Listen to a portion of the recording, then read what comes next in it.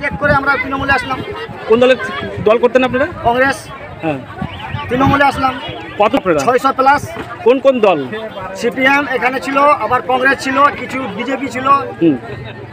ছয়শো প্লাস আমাদের মমতা ব্যানার্জি এবং অভিষেক ব্যানার্জির উন্নয়নের জন্য লক্ষ্মী- ভান্ডার যুবশ্রী কন্যাশ্রী রূপশ্রী সবুজ সাইকেল অনেক রকম প্রকল্প আছে ওরা উন্নয়ন আছে ওই জন্য আমরা আজকে তৃণমূলের যোগদান করলাম। আপনার নাম? খায়রুল আনসারি। আপনি কোন মানে কোন পদে ছিলেন কংগ্রেসের? বুথ ছিলাম বুথ থাকলাম। আজকে আমাদের সালাইডাঙ্গা অঞ্চলে আমাদের অঞ্চল সভাপতি ভাই আশরাফুল, আমাদের পঞ্চায়েত সমিতির খাদ্য কর্মাধ্যক্ষ মুর্শেদা থেকে শুরু করে জামশেদা এবং আমাদের এই এলাকার যে অঞ্চল নেতৃত্ব আছে, তাদের সকলের নেতৃত্বে গাজল ব্লক তৃণমূল কংগ্রেসের নেতৃত্বে আজকে আমাদের এখানে কংগ্রেস থেকে এবং বিজেপি থেকে বহু সমর্থক আজকে তৃণমূল কংগ্রেসে যোগদান করলেন। সিপিএম কংগ্রেস, বিজেপি থেকে জয়েনিং করে সাড়ে ছশো কর্মী আজকে যোগদান করলেন এবং আগামীতে বহু বিজেপির এবং কংগ্রেস এর বহু লোক আমাদের সাথে যোগাযোগ করছে।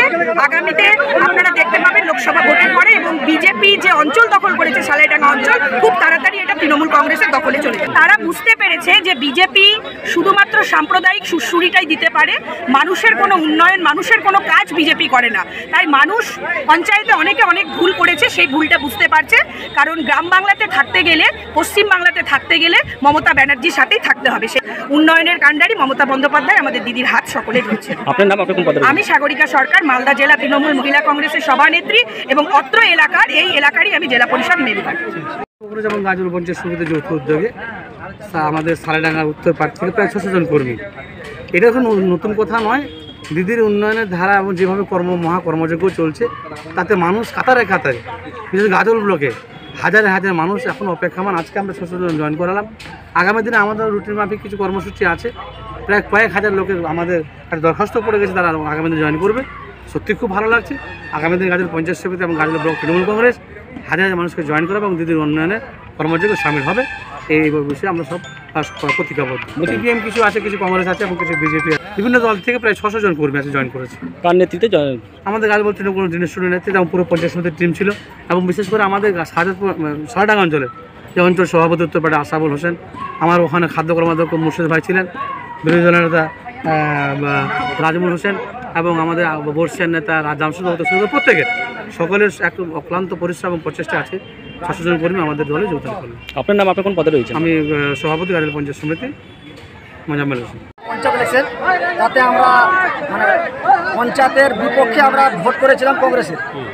আমরা পছন্দ হলো না পঞ্চায়েত পঞ্চায়েতের বিপক্ষে আমরা ভোট করেছিলাম কংগ্রেসের।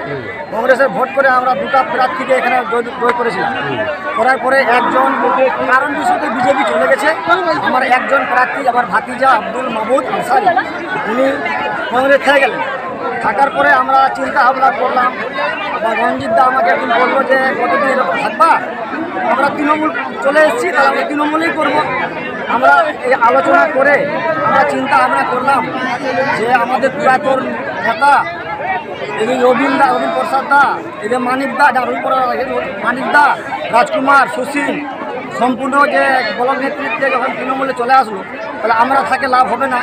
আমাদের মমতা ব্যানার্জি এবং অভিষেক ব্যানার্জির উন্নয়নের জন্যে আমরা আজকে তৃণমূলে যোগদান করলাম। আমাদের যেমন কাজ কাম ভালো হয় পরিবর্তে আমরা সবাই এক এক করে ভাই করে থাকি। কতজন লোক প্রায় আমাদের এখানে তো লিড করেছিলাম ছয়শো তিপ্পান্ন ভোট। কংগ্রেস থেকে ছয়শো তিপ্পান্ন ভোটে আমরা লিড করেছিলাম। আমরা এখানে তৃণমূল এবং আম থেকে দাঁড়িয়েছিল মহিলাকে আমরা এখানে পরাজিত করেছিলাম। আপনি কতজন লোক নিয়ে আজকে জয়েন করলেন? আজকে আমরা জয়েন জয়েন করলাম ছয়শো ছয়শো প্লাস হবে। না দুটা বুথের আমাদের ভাগ হয়ে যেত ছশো আমার নাম খায়রুল আনসারি। আপনি কংগ্রেসের কোনো পদে ছিলেন? হ্যাঁ এর আগে আমি ছিলাম অঞ্চল সভাপতি তৃণমূলের। তাতে আমাদের পঞ্চায়েত যিনি ছিলেন কংগ্রেসের কোনো পদে ছিলেন? কংগ্রেসের আমি সভাপতি ছিলাম। আজকে ওনারা এই যে আমাদের যে দীনেশ সুবিধা ঘোষণা করল যে সভাপতি তুমি ছিলা তুমি সভাপতি থাকবা। আপনার নাম কি বলেন? খায়দুল আনসারি।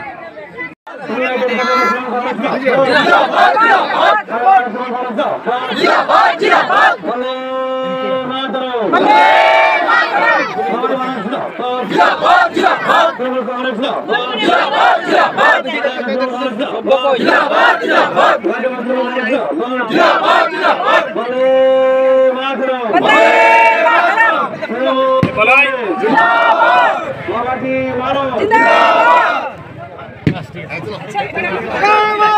পতাকাটা উঠেছিল